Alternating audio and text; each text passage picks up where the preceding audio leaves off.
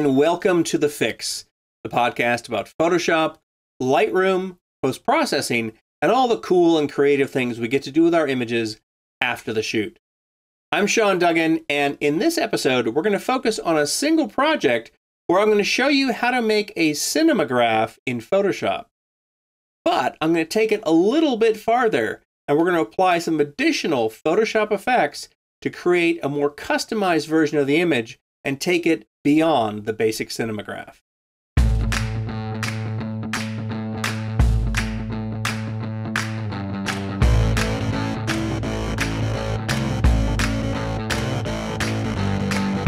Thanks for tuning in and joining me.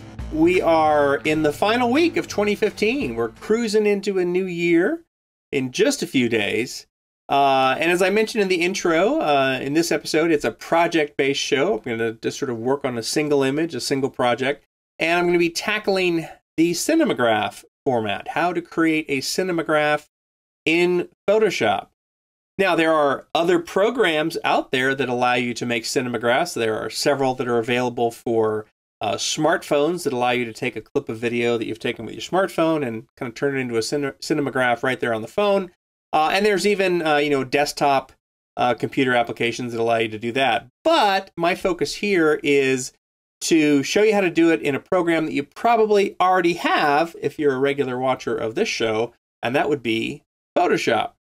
So uh, let's tackle definitions. What is a cinemagraph? Well, if you don't already know, it essentially is a combination of a still image with a video image. So you have um, what looks to be a, a nicely composed, lit still photograph, but within that still photograph, there's a little bit of the scene that is in motion, and it's constantly in motion. So that is where uh, the animated GIF part of it comes in. But a cinemagraph is a little bit more than an animated GIF. It's a little bit more sophisticated and elegant because typically the ones that are well done anyway combine the hallmarks of you know good photographic composition, nice lighting, uh, and sometimes even the hint of a story, a little bit of mystery.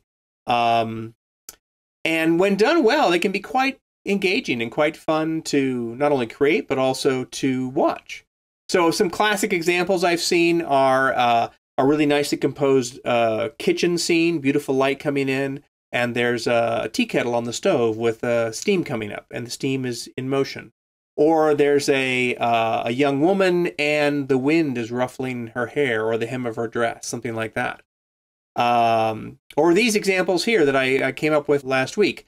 Here's my two dogs uh, hanging out in front of the fire, just kind of like snoozing and, you know, we have the dog in the background there who's just kind of opening her sleepy eyes to look at me. And, you know, it's such a subtle motion there that it looks really nice because at first it looks like, you know, nothing's happening. And then you see her eyes open. Or this one here, which is, you know, quite a bit different, a little bit more surreal. Uh, this one actually is a combination of a cinemagraph with, you know, a more uh, fantastic composite scene suggesting, you know, something out of Game of Thrones or Lord of the Rings or something like that. And by the way, the reason that I made this strange surrealistic composite here is that I'm going to be presenting at Photo Fusion in West Palm Beach, Florida uh, in mid January, January 19th through the 23rd. And one of the classes that I'm going to be doing is a three hour masterclass computer workshop on creating imaginary landscapes using Photoshop compositing techniques. So, if you are uh, going to be in the West Palm Beach, Florida area uh, that week, January 19th through the 23rd, uh, and that is of interest to you, um, consider stopping by and joining me. Uh, you can go to photofusion.org for more information, and I'll put a link to that in the show notes. So, in terms of what you need to make a cinemagraph, you just need a camera that can shoot some video. And it can be pretty much any kind of camera, as long as it can shoot video. It can be a smartphone, a DSLR, a micro four thirds camera, uh, a mirrorless camera. It doesn't really matter. You just need to have a camera that can shoot video. You need to have a camera on a tripod. That's very, very important because the camera does need to be immobile. And you also need to have um, motion that lends itself well to the whole cinemagraph aesthetic. So, you know, think of motion that can um, appear subtle, um, and that can also be repeated kind of infinitely on this loop and appear natural. So, you know, the examples that I mentioned earlier the steam rising from the kettle, the wind blowing the woman's hair, um, the one of my dog just kind of opening her sleepy eyes, the little waterfall in that kind of surreal uh, landscape composite that I showed. Things like that all work very well for cinemagraphs. I've also seen ones where um, the, the motion happens, you know, only once every few seconds. I saw one uh, of a, a, man reading a book, and it was in black and white, had a real sort of film noir feel to it. And you're looking uh, over his shoulder down at him as he's reading a book. It's very still and very static. It's well composed, looks really cool. And then suddenly, you know, after several seconds, his hand reaches out and turns a page. Really, really effective. Things that don't work well for cinemagraphs are uh, scenes where there's an obvious uh, starting and ending point to the motion. So if you imagine, um, you know, a football game and the football player's running across the field, that's not going to work well because there's a real obvious uh, point where the video starts and where the action stops. And if you try to loop that, there's just going to be this real kind of a disconcerting, you know, jar uh, between the start and the stop of the video. So uh, think of scenes where there can be motion that appears natural when uh, it's looped infinitely. And that is basically it. And, and of course, also applying, you know, uh, all of the things that you would normally want to uh, think of when you're making a photograph good composition, good light, perhaps a sense of story, things like that. All right. Well, without further ado, let's dive in and take a look at how you make a cinemagraph in Photoshop and how we can go beyond the basic cinemagraph. Before we dive into Photoshop and start creating the cinemagraph, let's just take a quick look at the video that I'm going to be using. So it's Christmas time, we have lots of Christmas paraphernalia around the house, so I set up this nutcracker in front of our fireplace and made a short video clip of it. So I've got three areas of potential motion that I could use here. There's the fire in the background on the left side. There's obviously the hair of the nutcracker, which is being ruffled by a small oscillating fan that I had nearby. And then there's the reflection of the fire in the glass door over on the right side of the video.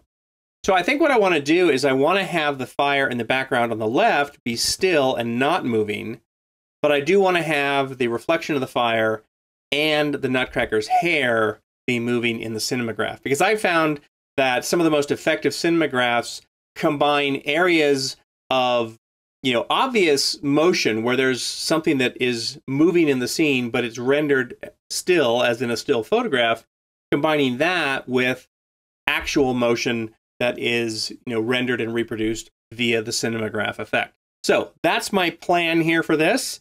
Let's dive over to photoshop and get to work so I've already opened the video file into Photoshop. And you can open a video file into Photoshop the same way you would any other type of file. Just go to the File menu, choose Open, and navigate out to where the file is. If you're on a Mac, you can also find the file and drag it onto the Photoshop icon in the dock, and that is another way to bring a file into Photoshop. So let me point out here before we get into this that I'm currently using the Motion Workspace for this. And the primary advantage of the Motion Workspace is that it allows me access to the timeline panel, which you can see down here at the bottom of the interface. And you can find the motion workspace by going up to the window menu and choosing workspace, motion.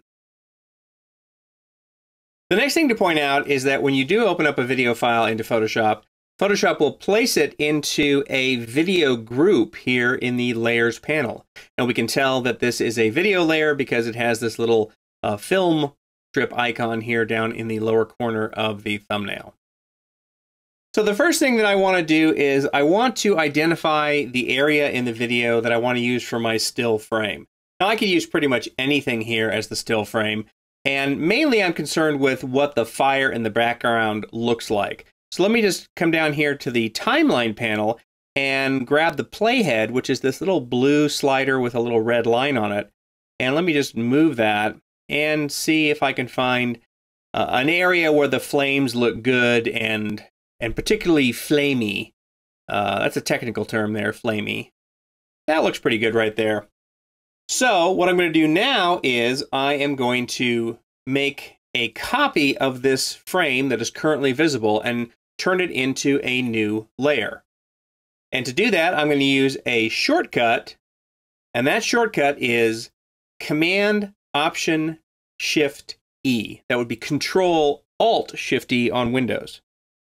And you can see here in the layers panel that it has created a brand new layer, currently called layer 2. And we know that it is a regular layer, a still layer, and not a video layer because it does not have the little film strip icon down in the corner. I'm going to double click on the layer name here, and I'll just call this still. So I know that that's the still image. Now, the other thing that I want to point out is, let me actually move my timeline panel up a bit so we can see the bottom of it. If I scroll here in the timeline panel, you can see that when the new layer was created, the still layer, it placed it after the first layer. Let me actually make that a little bit smaller here by adjusting the uh, zoom slider for this timeline panel. So this slider here between the two mountains, it zooms in and out of the timeline panel, not the actual image. So that allows you to get in really close, and there are times when you do need it to get in really close in the timeline panel. So when you have layers that are in a video group, they are arranged sequentially.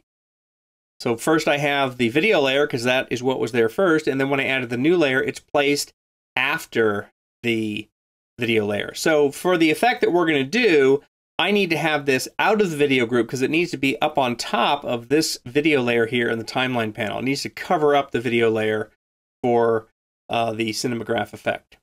So I'm going to take that in the layers panel here. I'm just going to drag it up out of that video group. And then when I see the, the solid line, not, not the box, because if I see the box, that means it's just going to go back into the video group.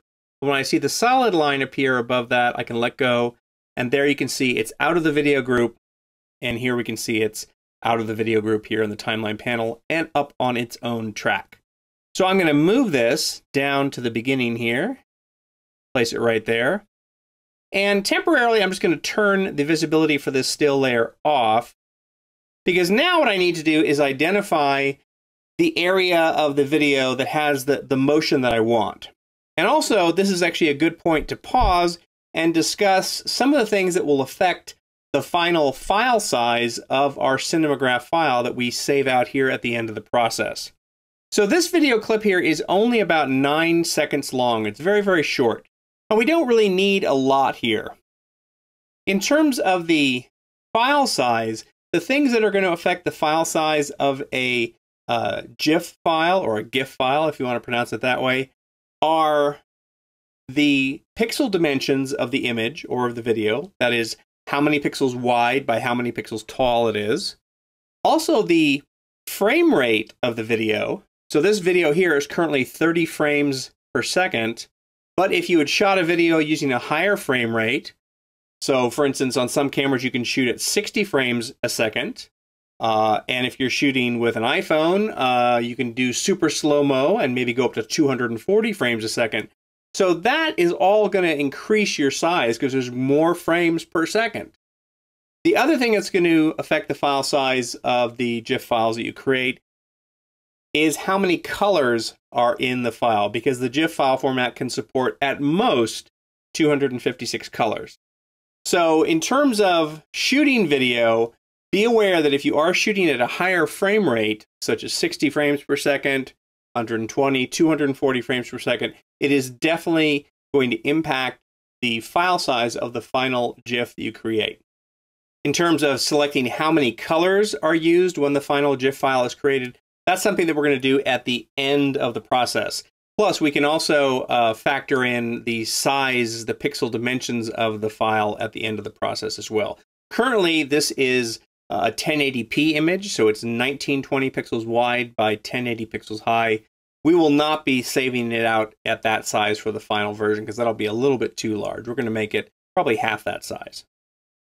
All right, so what I'm going to do now is I'm going to come down to the timeline panel and I'm going to scrub through this to find a point where the hair starts to blow. So right about there, it looks like I'm right here about 3 seconds, 17 frames. And by the way, this counter down here at the bottom left of the timeline panel, the, the first number there is seconds, and then the second number is frames. So you can see as I scrub up here, it'll get up to 30, and then it'll reset to uh, 0 and then 1. You can see right there. Went from 330, 329, then to 330, then to 4. And that's because, of course, as I mentioned, this video is shot at 30 frames per second. So I only need a couple of seconds for this. Again, the reason I'm choosing to, to, use only a couple seconds of motion from this is because two seconds is going to be 60 frames. And the more frames that I have, the larger my final GIF file will be. So let me just start here at about the four second mark, I guess, and see what it looks like when I get out to the six second mark. So I think that that gives me plenty of motion there. So what I'm going to do is I'm going to position my playhead here at the four second mark. And I'm going to click on that video track to make it active. I'm going to place my cursor on the left side and notice how the cursor changes there. So I can actually grab that left side there and then drag in. And what's nice is you get this little pop-up window which shows you uh, the video playing there. So if you needed to judge how much to trim this, you can actually base your decision on what you're seeing in that window. I'm just going to go right to the playhead there. And notice that when I let go, it snapped the video track back to the beginning. So that's what happens when you have a video in a video group is that it is going to snug up to the beginning there. Uh, or if you have other tracks in there, it'll snug up to the track uh, right before it. So next what I'm going to do is move my cursor here to about the two second mark because since I trimmed it at the four second mark, that is now the one second mark, you know, the, the, the start of the video here. So I'm going to come in two seconds here to right about there. And I'm going to trim the right side. Again, I'll place my cursor here at the end and drag in to right there. Now, let me point out that this uh, trimming action here is not really a trim in the literal sense of the word because I'm not actually cutting off those areas after, you know, where I place the, the end of the, the clip, it's just sort of hiding it or, or masking it out. So all of the original nine seconds of that video is still there. I've just basically shortened it down so we're only seeing two seconds of the total nine second length. But I can always get back and retrieve any of that simply by, you know, dragging this out here and stretching it out again. All right, let me click on the still layer here and let me shorten it so it is the same length as the video.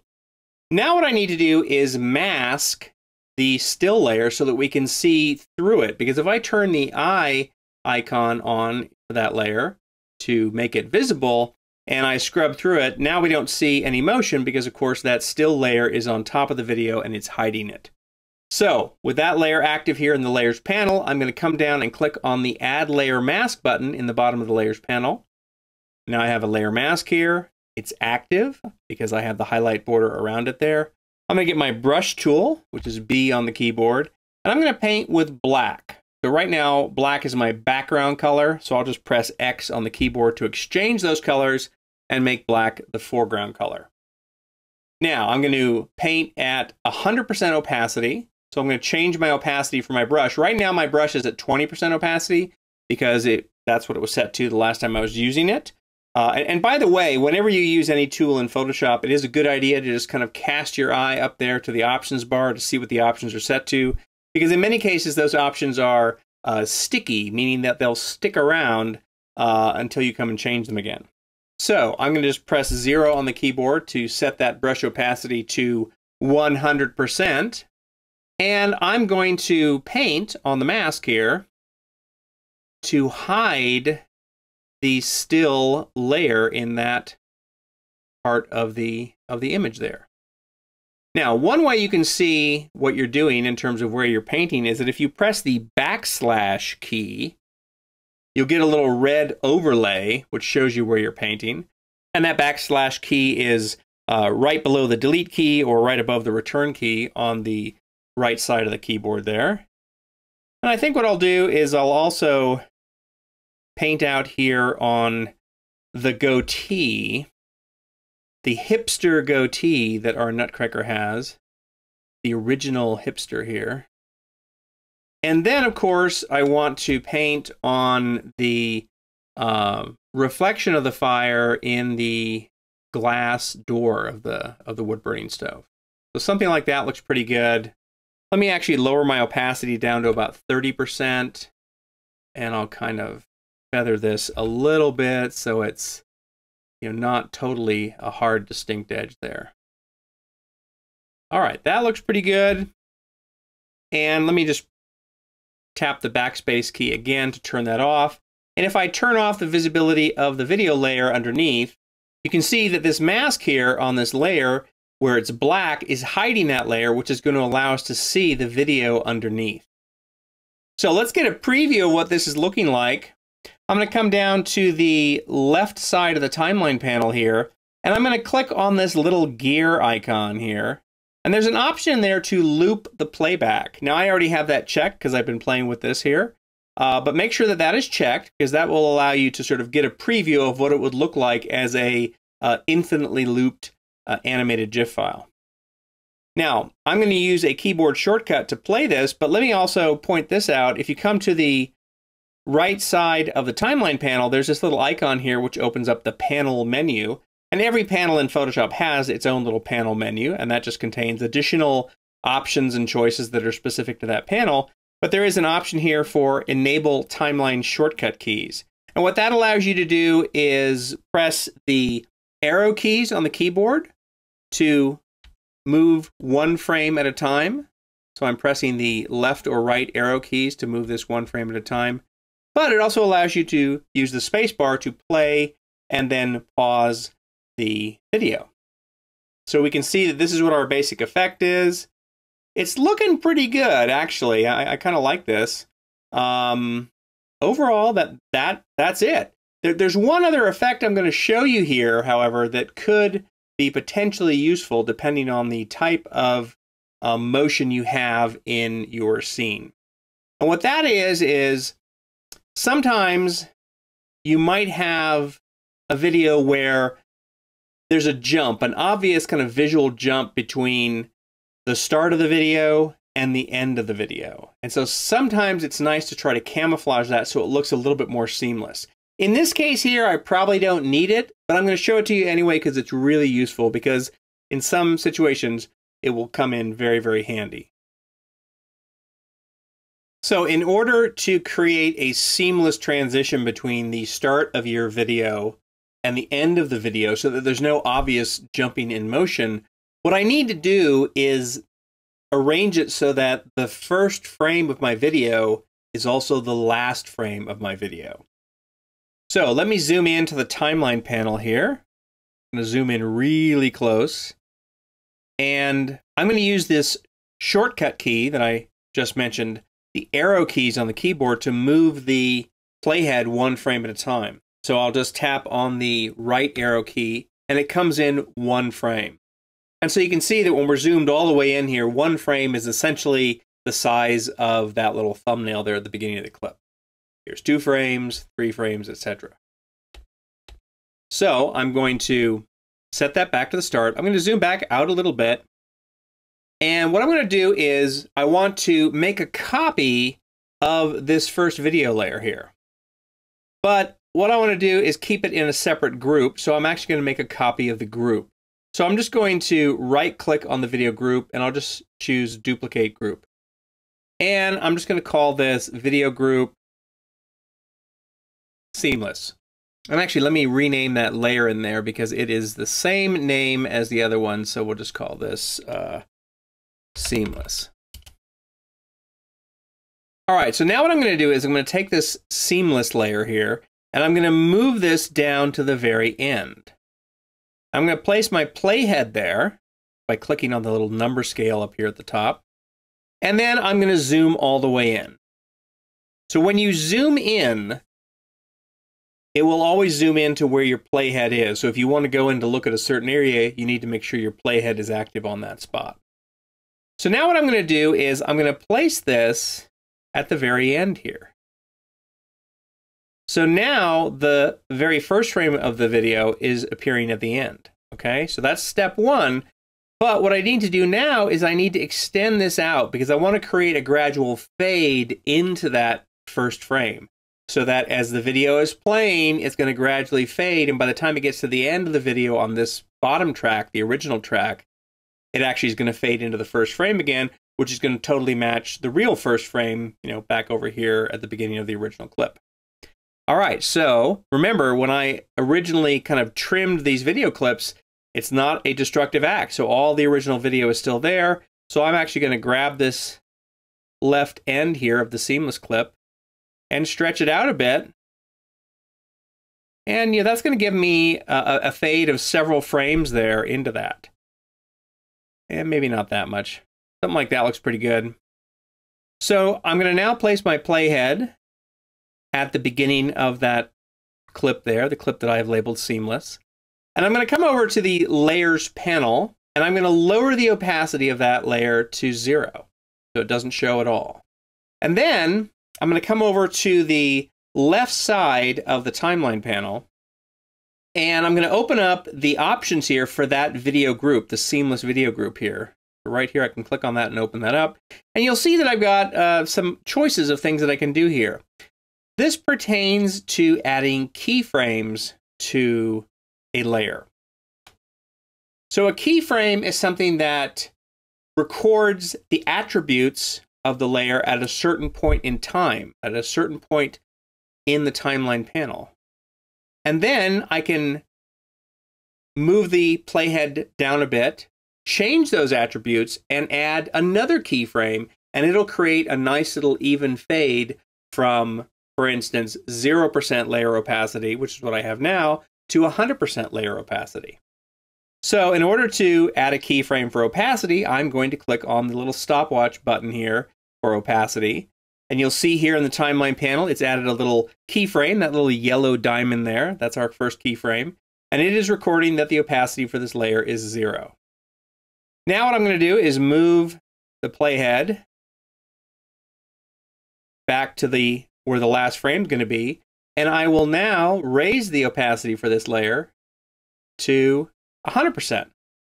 And notice that it has added a new keyframe automatically. So whenever there's a keyframe that you've added manually, whenever you change something about that attribute, in this case it's the opacity, Photoshop's going to automatically add a new keyframe to record that new change. So now if I look at this here, you can see that it does say 100% here. If I move that playhead back, now it says 50%.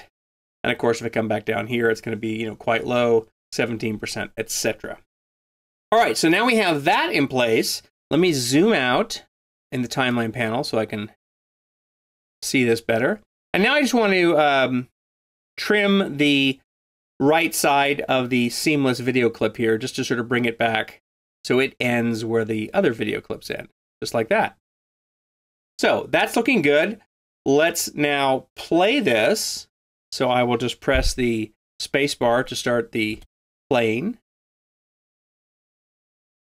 And let's see if we can notice anything. It looks pretty good. Of course, you know, it looked pretty good before just because of the way the hair was moving. But if you do have a video clip where there's an obvious jump in the motion um, between the start and the end, this is uh, one way that you can potentially deal with that and kind of hide it. Of course, how successful this is going to be really depends on the type of motion uh, in your video. There's going to be some sorts of motion where it's not going to work that well. But for things that are kind of very repetitive and, and, and the same kind of motion over and over again, it does work very, very well to create that seamless effect. Now, by the way, let me point out one other thing in here. If we look at the timeline panel, you'll see that there's this blue line here. That blue line indicates that there's a, a RAM preview for the video clip loaded into RAM. When you first start playing a video clip, it may play kind of slow and a little bit sluggishly, maybe a little bit jerkingly and haltingly. And you'll notice that the blue line does not extend all the way across the video clip. In fact, it may look like it's just kind of like following the red uh, timeline here as the timeline uh, extends through the length of the video. So that's normal. And uh, as we'll see here a little bit later, once we start to add some more elements in here, sometimes you have to wait and it has to kind of go through one full pass before it builds up a RAM preview. So that is the basic cinemagraph effect there. Uh, of course, the one step that we haven't done yet is to export this out in a format that can be easily shared on the web. But we're going to get to that in a little bit. First, I want to go beyond the basic cinemagraph and do a couple of other things to stylize this image and make it look a little bit cooler. The first thing I want to do is add a black and white layer. So I'm going to click on the top layer here, which is the still layer, and I'll come down to the bottom of the layers panel and I'll click the add adjustment layer button. I'll choose black and white, and I'm going to make a few little adjustments here just to make the nutcracker look better. Raise the yellows up, maybe bring the red up a bit. And you know, the nutcracker is actually going to end up being in color or, or kind of a more of a muted color. So it doesn't really matter too much, uh, the adjustments I make here but I just wanted to make him look a little bit better. Also, just to see what it looks like as black and white. Actually, I think it looks pretty good in black and white. All right, that's good for now. Now what I want to do is modify the layer mask here. So I'll get my brush tool. I'm going to be painting with black, and I'm going to be painting maybe at about 60% opacity. And I'm just going to paint over the Nutcracker's face. And I'm not going to paint on the Nutcracker's hair because I want that to kind of remain in black and white. Let's kind of do the, the helmet up here. And these two little dots up there. Maybe go over the helmet one more time just because the, the, there's that nice uh, gold decoration up there. And let's go over the uniform. And bring that in. Okay, that's looking pretty good. And get the arm in here. And I think what I'm going to do is lower my opacity a little bit, maybe to 20%, and paint a little bit over the edge here. Let me actually press X to undo that. And now I'll paint with 20%, a little bit over the face where the, I know the hair is kind of blowing over the edge of the face. All right. So that looks pretty good little bit of a edge here I need to bring in. And I also want to mask out the black and white effect on the reflection of the fire in the glass door here of the wood stove. So again, I'm painting in at a lower opacity there. That looks pretty good. Overall, I like that. Let's just press the space bar and, and run that. Looks cool. I really like having the uh, the reflection of the fire in color there because it kind of draws a little bit more attention to it. Really like the way that's looking. All right, one more thing I want to do here is I do want to add an adjustment layer that kind of brightens up some of this uh, fire reflection a bit. So I'm just going to use the lasso tool to make a really rough selection here of that. I'm going to add a curves adjustment layer for that. And I'm just going to pull up on that curve a bit to, to brighten that and maybe down on the darker edge of the curve to keep that nice and dark. Or rather, keep the, the shadow parts of that nice and dark. There we go. That actually looks pretty nice. Of course, I have this ugly hard edge because I had a uh, zero feather on the lasso tool. So I'll come and click on the mask button here at the top of the properties panel for that curve and then I'll just increase the feather to soften that down. And again, I'll press spacebar to play that, and that's looking pretty good. I like it. So overall, this is looking great. I certainly could export this out, but I want to play around a little bit more. Plus, that allows me the opportunity to show you another cool thing we can do. I'm going to turn the still layer into a smart object here because I want to apply a blurring filter. And by first turning the layer into a smart object, I can apply that blurring non-destructively. So I'm going to right click on the layer here and just choose convert to smart object. The layer mask disappears here, but it's not really gone. It's just inside the smart object. And now what I'll do is I'll come up to the filter menu and I'm going to choose blur gallery iris blur. And I'm going to come over here to the right side of this ellipse here. There's a little tiny dot there, and I'm going to position my cursor on that, and I can then rotate that into more of a vertical position, and then drag this over the nutcracker. So that's looking pretty good. I kind of like the fact that the, the helmet's starting to get out of focus and I like the fact that the bottom part of the nutcracker is slightly out of focus. So these inner dots that you see here, that is kind of the feather of the blur. Everything inside these four inner white dots is going to be totally in focus. And then it's going to start to gradually transition to being out of focus. And by the time it gets to the edge of the elliptical shape here, uh, it's going to be totally out of focus. I can come here to this little center wheel and grab this and, and modify the blur that way. I don't want it to be super blurry, but just a little bit blurry, I think. Let me like a blur value of about, oh, maybe 10 looks pretty good. And I'll just click OK. All right, so let's take stock here. And I'm going to press the um, space bar here to get the video playing. And as I do that, pay attention to what happens to that blue line that I referenced earlier that's going to be following the playhead. Because I added a new effect since I last played this, it's going to have to catch up and kind of re-render a new RAM preview. So you can see that the blue line there is chasing the playhead, and now it's caught up, and now it has that RAM preview. So everything looks pretty good, except for one thing, and it's kind of kind of subtle and easy, easy to miss here. So the blur in the background looks really great. I really like that. But notice that the reflection of the fire is not as blurry as, you know, the door around it or even the fireplace behind it. So that's a problem. We got to fix that. So what we need to do is we need to blur the video layers in order to do that. And of course, we have two video layers here. So rather than apply the filter to each video layer, I'm going to only apply the filter once. Now, by the way, uh, in order to apply a filter effect to a video layer in Photoshop, you do have to convert the video layer into a smart object. Smart objects are really, really useful. And I have uh, an episode of The Fix that was recorded, oh, I think back in September, late September, maybe early October. Uh, the entire episode was dedicated to smart objects. So if you're interested in learning more about smart objects, go and look that up. Um, I can't recall the episode name offhand. It might have been episode 32 or 34 or something like that. So what I'm going to do to apply the filter to the two video layers is I'm going to create a new group. I'll click on the new group icon here. And I'm going to move that group down just above the video groups. And I'm just going to rename that. Call it video layers. And I'm going to place each of the video groups inside there. So I'm going to click on one and command or control click on the other one to select both of them and then just drag them up into that group.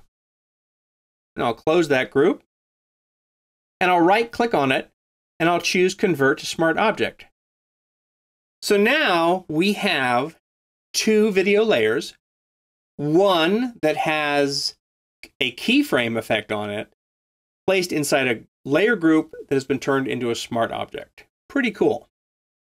And now that it is a smart object, we can apply that filter. So I'm going to go up to the filter menu. And there is a choice here at the top of the filter menu which says blur gallery. So whenever you apply a filter effect, the most recent filter effect shows up here at the top of the list. If I was to just choose this now, or use the shortcut of Command F or Control F, it would apply that same filter using the exact same settings. But if you want to see the filter dialog before you apply it, just to sort of double check that the settings are going to be okay, hold down the option of the Alt key as you choose this choice. You can also add that into the keyboard shortcut and do Command Option F or Control Alt F to get the same effect. So you can see it's now opened up the blur shape, the blur amount is exactly the same. And now you can see over here on the door that we are blurring the video. So that's all I need to do there. I'm going to click OK. And let's press the play button, or in this case, the space bar on the keyboard and see how this looks. Again, pay attention to what's happening with the blue line of that RAM preview. Because we're blurring a video, which is a lot more processor intensive here, it's going to go a lot slower until it builds up that RAM preview. So you can see it's it's really creeping along now. And, and that is actually a um, kind of a word of warning to you. uh, if you are applying filter effects to video, it has to apply that filter effect to every single frame of the video. So it is going to be a lot slower to preview the effects initially until Photoshop builds up the RAM preview. And also, if you're doing this with a regular video project, you know, not an, uh, an animated GIF cinemagraph, when you render out your video, it'll take a lot longer to render out. Of course, a lot of this depends on you know a variety of factors, the usual suspects that that affect these things. Um, you know, the speed of your computer, how much RAM you have, how much processor you have, how much scratch disk space you have, um, how complex the video is, how complicated the filter effect is, the size. All of those things are going to affect how long the render or the RAM previewing is going to take.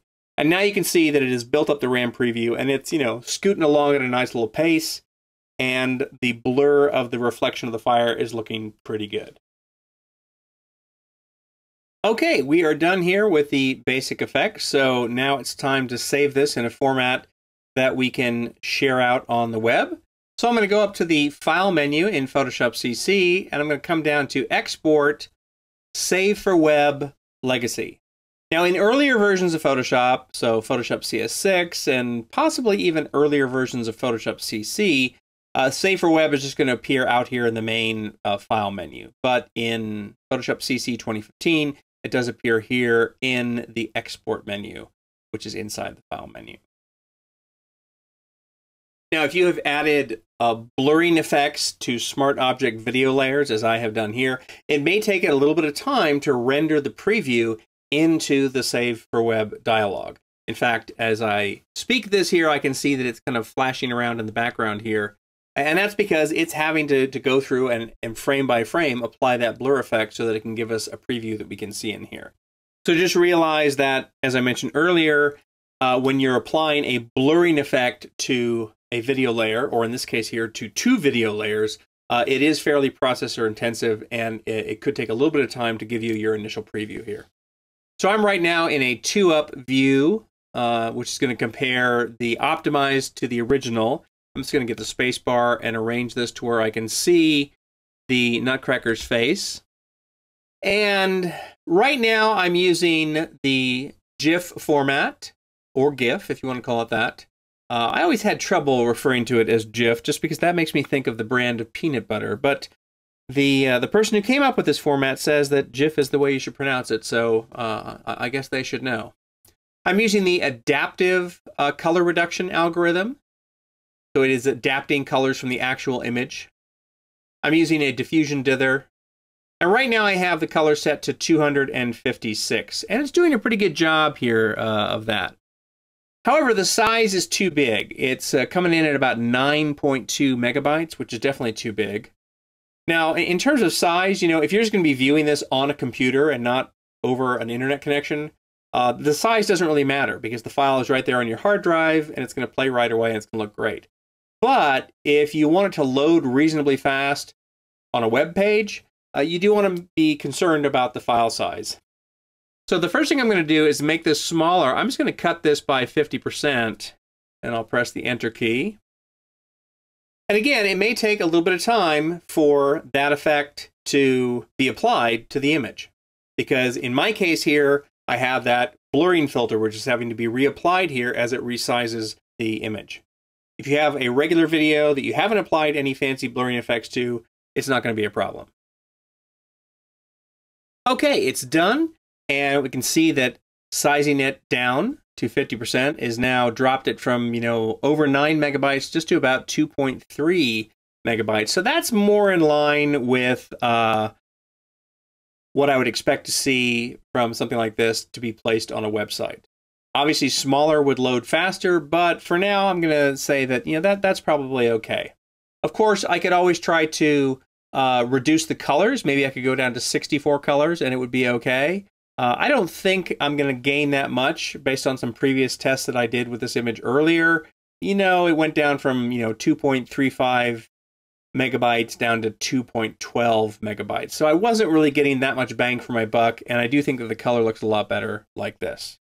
Now, one thing that's pretty cool is that down in the lower left corner of the Save for Web dialog, there's a button that allows us to preview this in a web browser. If I click on that, it will open up a web browser and show us what that looks like. Ah, except it stopped. That's because I forgot to set one option here. Go back to the Save for Web dialog, and down at the bottom, there's a looping option, and I can set that to forever. And I will now click the Preview in Web Browser button again. And now it's going to give us that looping preview, and we can see what it's going to look like when people see it on a web page. So that looks pretty good. I'm going to come back here to the Save Web dialog and just click the Save button. And we'll save that out. And of course, the cool thing about the way that I've structured the layered master Photoshop file here is that everything is non-destructive, and I can always go back and adjust things later if I wanted to. For instance, such as the the amount of blur. I'm noticing here that I'm getting you know a little bit more blurring on the uh, hair than uh, perhaps I would like. So I could always go back and modify that by just double clicking on the blur gallery filter here in the layers panel for the video layers. And it's going to open up the blur and I can modify that so that the hair is not being blurred quite as much. And then save that out again. Of course, I'd have to then re-render a new copy using the uh, Save for Web Legacy dialog. Well, I hope that you found that project interesting and that some of the things that I shared there give you some ideas as to how you might use some of those same techniques or similar techniques on some of your own Photoshop projects, whether they are cinemagraphs or video projects or even just still images. And if you've never tried making a cinemagraph before, I hope that uh, that this episode has inspired you to maybe go out and give it a try uh, and see what you can come up with. And you know, of course, you can apply some of these other Photoshop skills, like I showed in this episode, to you know take your cinemagraphs just up a notch to to uh, a new level to make them a little bit different and uh, something a little bit more elaborate than straight out of the camera. In terms of um, creating an effective cinemagraph, I think that you know once you get past the basic dance steps of how they're created, uh, if you put a little bit of thought into it, uh, maybe a little bit of pre-planning, you can come up with some things that are pretty cool. Uh, some of the most effective ones that I've seen um, almost suggest a hint of a story or a little bit of mystery, and they're just so um, elegant and, and, enigmatic that uh, it's a pleasure to watch them, you know, and just sort of you know, let my mind spin out and and almost sort of create tales and stories that are suggested by by the image and that subtle motion in the image. So we have a new year coming up, um, 2016. Happy New Year to you. Thanks very much for watching the fix. I do appreciate that. Remember, you can always subscribe to the audio version of this program on iTunes, and you can watch the video version, as well as find a downloadable audio version on the website, thisweekinphoto.com slash the fix. And while you're there at thisweekinphoto.com, there are plenty of other photography related podcasts to check out, so do make time for that. I will see you next year on the next episode of The Fix. I'm Sean Duggan. Thanks again for watching. Catch you later.